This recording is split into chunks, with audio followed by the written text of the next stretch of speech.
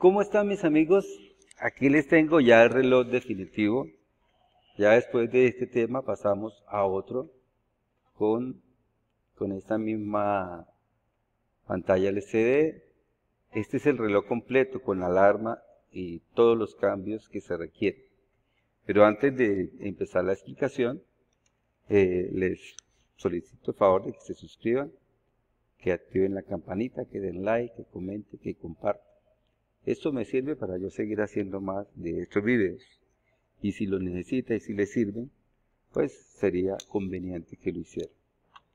Bueno, aquí tenemos ya el reloj con todo. Le he puesto un pulsador para cambio a MPM.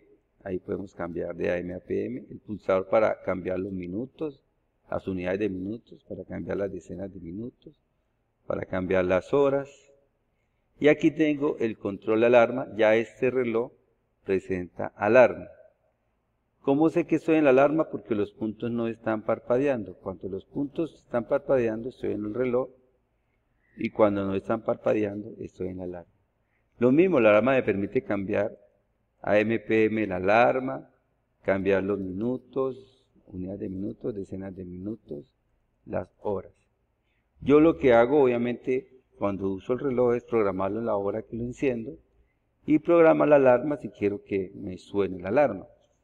Para efectos del, del ejemplo en particular, vamos a colocar la alarma. Aquí está, por ejemplo, la hora en 5 y 28. Entonces vamos a poner la alarma 5.28 pm. Vamos a poner la alarma en 5 y 28, 27.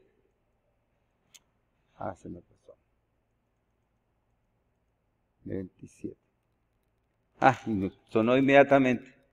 Tan pronto eh, se pasó a 528, comenzó a sonar. Aquí la vemos sonando.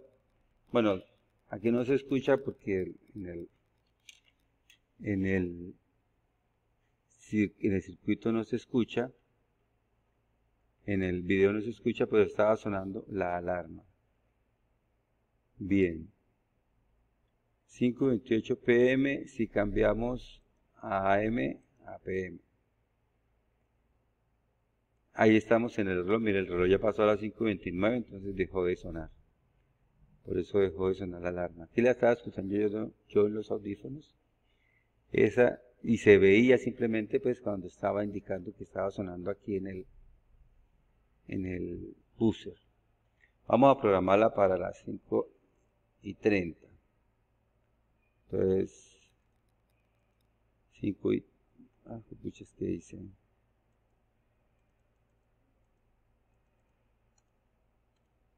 5 y 30. Ahí ya va casi va a sonar. Evidentemente, mira, aquí la vemos. Aquí está indicando visualmente que está sonando la alarma porque la hora de la alarma y la hora del reloj coinciden. Bueno, ¿qué tenemos que programar para que este reloj funcione? Es bastante extenso el código porque son muchas cosas, entonces vamos a tener paciencia, vamos a mostrarlo desde el principio para que todos lo entendamos, pero voy a quitar la alarma para que no me siga fastidiando. Listo. Aquí tengo entonces, primero mencionemos las variables. Tenemos las variables del reloj que son estas. Las variables de la alarma. Las variables de todos los pulsadores. Que fue eh, la de aumentar minutos, unidades de minutos, de minutos, unidades, aumentar horas, estas, de los pulsadores, la variable de AMPM, la del reloj y la de la alarma y la del switch de alarma y la del pulsador de cambio de AMPM. Son, son todas las variables que tenemos. Aquí tenemos los segmentos que construimos en la LCD, los segmentos con los que se construyen los números. Entonces, aquí aparecen variables donde mostramos en esta matriz cada uno de los segmentos que se construyen. Ahí Aquí tengo la configuración de setup. El puerto B eh, lo he configurado el pin 13 como pin de salida, por eso puse aquí este 2. Sería 100000. este pin 13 queda como salida, los demás quedan como entrada. Y aquí está la habilitación de las resistencias pull-up de los pines que quedan de entrada. Esta es la creación de los segmentos en la pantalla LCD, la configuración de la pantalla LCD. Este es el timer que me permite configurar la interrupción de cada segundo. Este es el vector de interrupción. Aquí incrementamos el segundo, pero también cuando son exactamente las 12 cambiamos de AM a PM. Este es eh, el proceso de construcción de los números. Este es el 0. hay, que, hay que poner 6 segmentos distintos para cada número. Entonces ahí con eso se construyen. Aquí construimos el 0, el 1, el 2, el 3, el 4, el 5, el 6, el 7, el 8 y el 9. Y aquí está el momento donde imprimimos los números de acuerdo al valor que tengamos. Aquí en el loop, entonces tenemos primero, eh, leemos si estamos en alarma, estamos en reloj. Inicialmente si la alarma va a valer cero es porque no estamos en alarma, o sea, si estamos aquí con el switch activado. Entonces hacemos todo el proceso de imprimir la hora. Imprimimos unidades, decenas de horas, unidades de horas, decenas de minutos, unidades de minutos. Y los segundos los imprimimos normales. Y aquí imprimimos AMPM de acuerdo al valor de esta variable. Y aquí está la impresión de los punticos que indica que el reloj está funcionando. Por este lado tenemos la lectura de los pulsadores para hacer los cambios de unidades de minutos, decenas de minutos y las horas y el cambio de AMPM. Y aquí hacemos los respectivos cambios. Si se activa alguno de los switches, pues se hace el cambio. Y este es en la parte del reloj. Entonces, si no estamos, estamos mostrando la alarma o si queremos cambiar la alarma, entonces activamos este pulsador. Este pasa a ser 1. Y cuando ese pasa a ser 1, entonces aquí está de lo contrario else. Entonces imprimimos los valores de la alarma decenas de horas de la alarma, unidades de horas de la alarma, decenas de minutos de la alarma, unidades de minutos de la alarma. Eh, ponemos el cursor en el pin en la posición 14 de la raya 1 para escribir AM o PM de acuerdo al valor que tengamos. Y, y colocamos los dos punticos en la mitad, que esos quedan fijos sin prender y apagar, que eso es lo que me indica que la alarma está siendo seleccionada.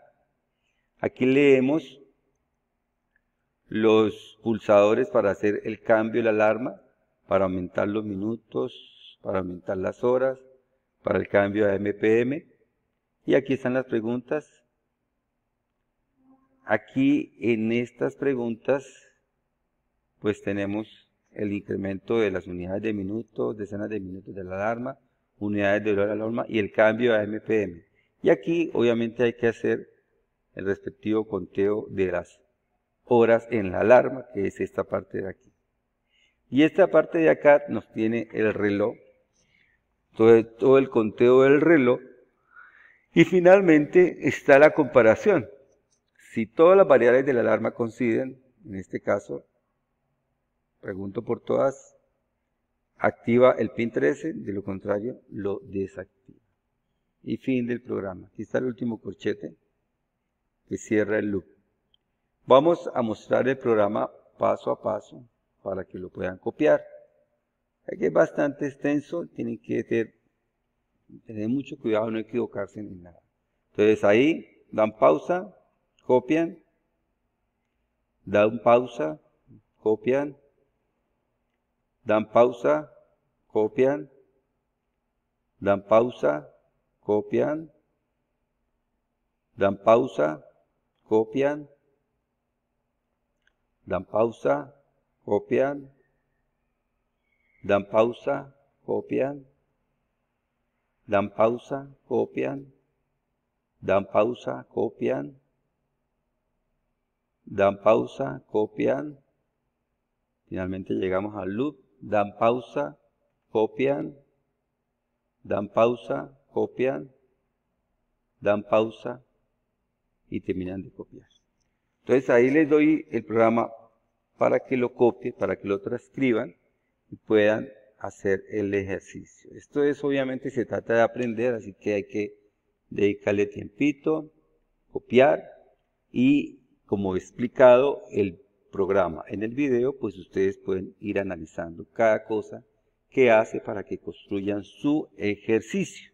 Se trata de aprender y no simplemente de entregarles el código para que lo vean funcionar. No tiene gracia si yo les doy el código. Hay que copiarlo.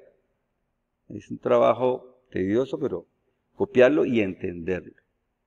No se les olvide suscribirse, darle like, activar la campanita, compartir. Esto me sirve a mí para yo seguir haciendo más videos de estos. Ya los próximos no voy a hablar del reloj, termino el tema del reloj y arranco con un tema diferente. Hasta luego.